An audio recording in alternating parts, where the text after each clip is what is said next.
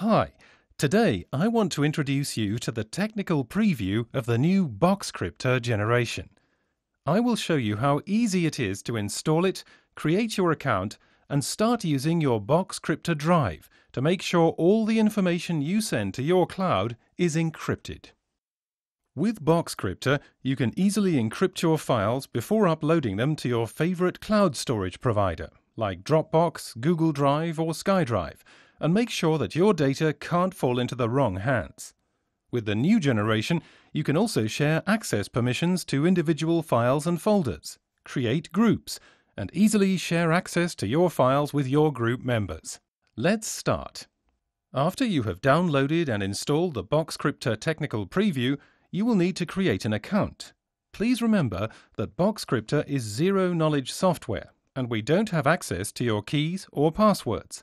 Any information we receive from you is encrypted and protected by your password, so please make sure to remember it or keep a safe copy. Next, log in to your account.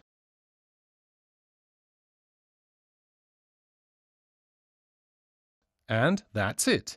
You're now ready to use Boxcryptor. You can find your Boxcryptor drive on the Explorer and start using it to secure all your files. Once you open it, Boxcryptor automatically detects your installed cloud providers. You are no longer restricted to a Boxcryptor folder, but you can save files through your Boxcryptor drive everywhere on your cloud.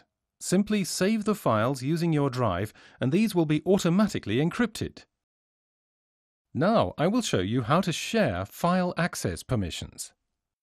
Right-click on the file you would like to share with another Boxcryptor user and choose Add a user.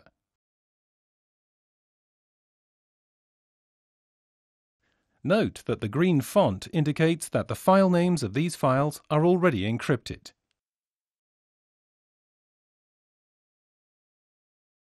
You can also create groups and share files only with the members you have invited to your group.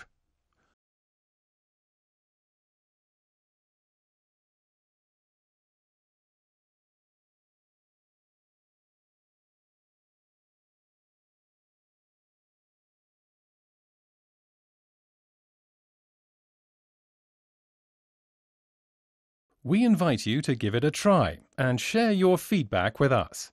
Download it now on our website at www.boxcryptor.com/labs.